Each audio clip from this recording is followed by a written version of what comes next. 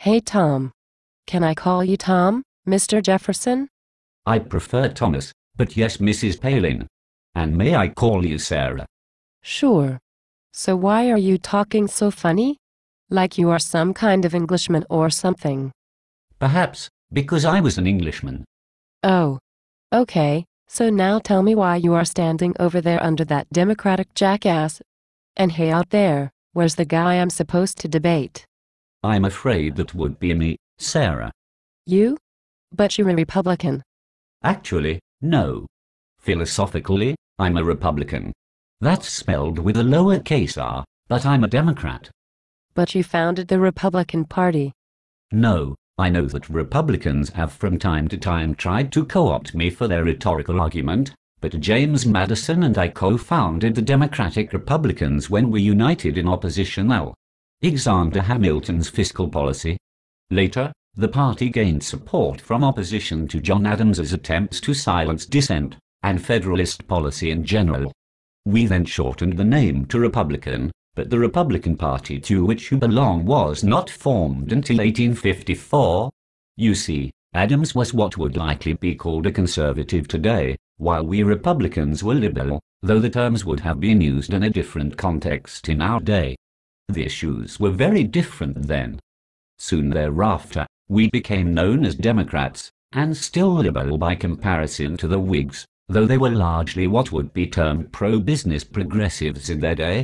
A schism in the Jackson era led to the Democrats being co-opted by Southern Democrats who were largely conservative reactionaries. Then when the new Republican Party was formed, its ideology was largely supported by the liberal thinkers of its time.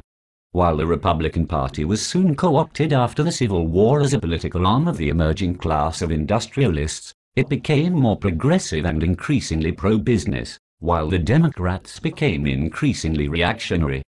Then, as the West opened, Western progressives flocked increasingly to the Republican Party, and both parties remained largely conservative by today's standards until Franklin Roosevelt's presidency. He was a Northern Democrat, which had little in common ideologically with the Southern Democrats, and a schism again developed during Harry Truman's term in office over the issue of lynching of blacks. At that time, Strom Thurmond attempted to break away from the Democrats and form the Dixiecrat Party. It was, however, a miserable failure, which led to Dwight Eisenhower being elected. The subsequent Supreme Court decision in Brown versus the Topeka Board of Education, which desegregated the public schools, infuriated the Southern Democrats. Then, when Lyndon Johnson was elected and he pursued his civil rights agenda, Strom Thurmond again broke away from the Democrats, but went with the Republicans instead. This followed immediately after the Civil Rights Act of 1962. Many more conservative Democrats then followed him. By the time of the 1971 Supreme Court decision in Love versus Virginia, in which the state laws which outlawed interracial marriage were found unconstitutional, the transformation of the Republican Party was complete. I'm rather amused by the thought that it was the liberals who defended the institution of marriage in that instance. But I digress. In effect, the Republican Party which existed at the time of Eisenhower ceased to exist. While it held on to the name Republican, it effectively became the Dixiecrats. Are you trying to confuse me? Oh no. You see, at the time of the Revolution, we held out that we were simply exercising our centuries-old rights as Englishmen. A rhetorically conservative argument, you see. But the notion that we colonists could separate from England was unheard of and quite liberal. Oh, okay. I guess that's why we like to refer to the intent of the Founding Fathers for our arguments. Really? And why so?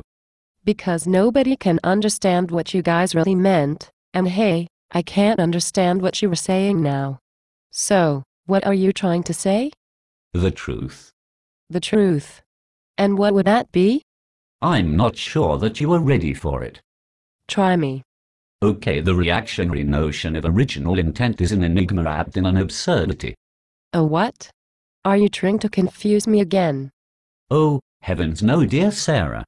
To put it simply, there was no such thing as an intent attributable to what you term the Founding Fathers, other than to unite the former colonies into a united block of states. Perhaps this phrase from the Declaration will provide some perspective. Governments are instituted among men, deriving their just powers from the consent of the governed, that whenever any form of government becomes destructive of these ends, it is the right of the people to alter or to abolish it, and to institute new government, laying its foundation on such principles and organizing its powers in such form, as to them shall seem most likely to effect their safety and happiness. Well, Buster, what would you know about that? I've had it with all this liberal, gotcha trickery, I think I know my Constitution pretty well. And the founding fathers who came to Washington, D.C. from Maine to Florida and Ohio knew what they were doing. What's more, they were good Christian conservatives who intended to keep you socialist liberals from taking control.